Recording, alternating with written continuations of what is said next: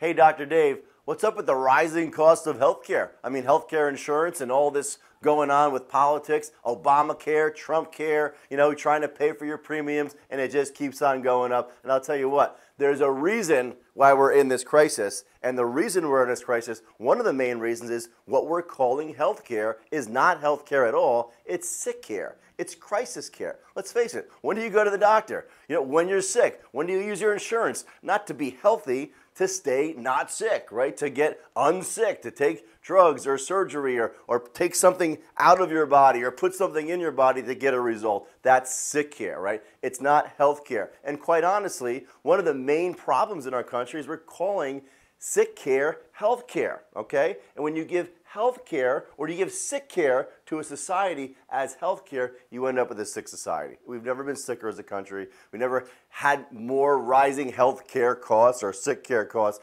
because of what? Because of our lifestyle. You know, in our country, we die of lifestyle related diseases. We die of high blood pressure and heart disease, and our immune system gets compromised by stress and what we put in our body. We don't die in this country, we kill ourselves because of the poor lifestyle.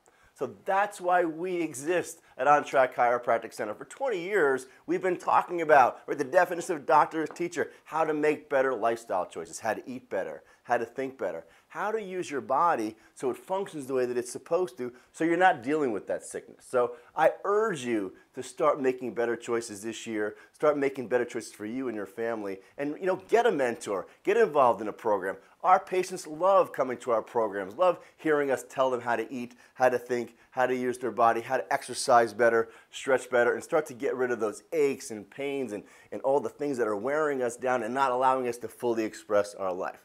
So come on down or click the button, share this stuff, interact with us. Let me help you change your life. Let me help you upgrade your life this year.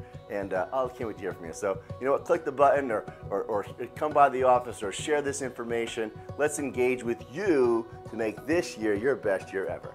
We'll see you at the office.